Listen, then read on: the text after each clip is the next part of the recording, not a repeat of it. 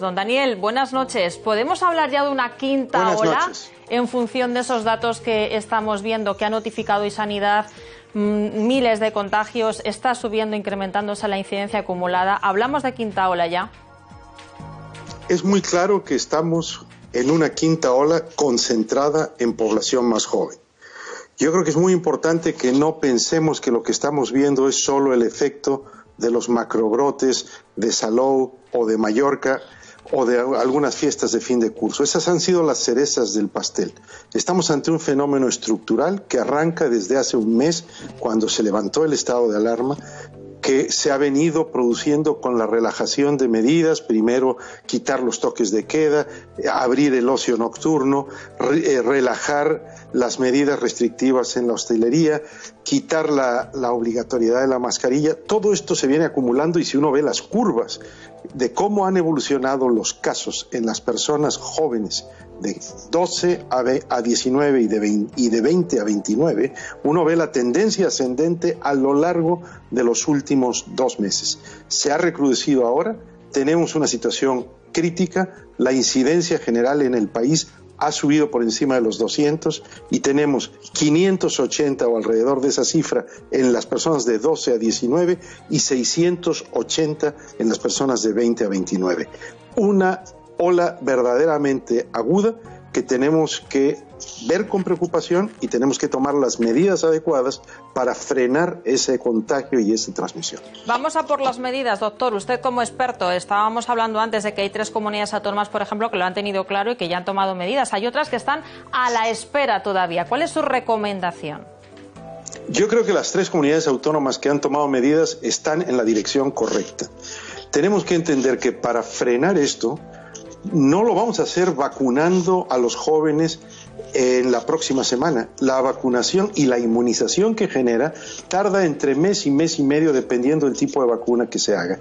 Eso no es lo que va a frenar estos enormes, eh, no solo brotes, sino repuntes en la incidencia. Tenemos que ir a dos tipos de cosas. A medidas de salud pública más contundentes que implican eh, llevar a cabo cribados focalizados en población joven para poder hacer diagnóstico precoz, para poder rastrear exhaustivamente y retrospectivamente, para poder diagnosticar en mayor medida, hacer más pruebas diagnósticas y para poder aislar a positivos. Ese es un conjunto de medidas de salud pública que se vinieron aplicando en algún momento a lo largo de la pandemia en algunas comunidades autónomas con más intensidad que otras, pero hoy hay que volver a ello, hay que volver a pantallas anteriores. Pero por otro lado, hay que volver a restricciones de la interacción social desprotegida en la que hemos caído. Desde mi punto de vista hay que tener mucho cuidado con todo lo que son eventos masivos, sean de carácter deportivo, religioso, fiestas populares, culturales. Hay que limitar el ocio nocturno, hay que establecer más medidas de restricción a la interacción social y eso es lo único que esos dos tipos de medidas de salud pública y las medidas restrictivas a las que tenemos que volver, que nos van a permitir frenar una transmisión que, entre otras cosas, al ser tan intensa, nos sitúa en un peligro mayor de que se generen variantes que puedan escapar a la acción de las vacunas.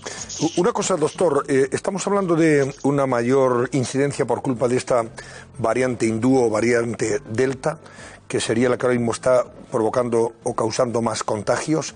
Y si es así, estamos hablando de una variante menos, menos letal pero más contagiosa o igual de letal desde el punto de vista de, la evolución que tiene para los enfermos.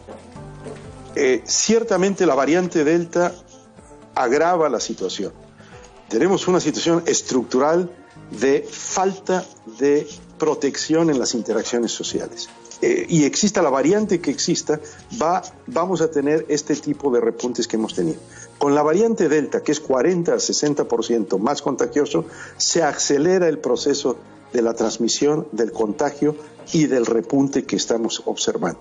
La variante Delta tiene la doble dimensión de ser más contagiosa, no sabemos todavía bien a bien si más severa eh, e incluso más letal, eh, pero ciertamente tiene más contagiosidad, pero además tiene más proclividad a escapar a la acción de las vacunas porque ha habido notables números de casos de infecciones y contagios en personas que han recibido solo una dosis y que no tienen la pauta completa. Entonces, esta combinación, el hecho de que ha surgido una estirpe como la Delta Plus, que combina elementos de la variante llamada India o Delta con la variante sudafricana, la variante que hay en el cono sur, en, América Latina, la variante Gamma, eh, son, son variantes que son mucho más agresivas. Y ese es el gran cuidado que tenemos que tener porque el equilibrio que logramos en la, en la gestión de la pandemia es precario en la medida en que hay esta evolución de variantes y en la medida en que incurrimos en conductas desprotegidas de interacción social.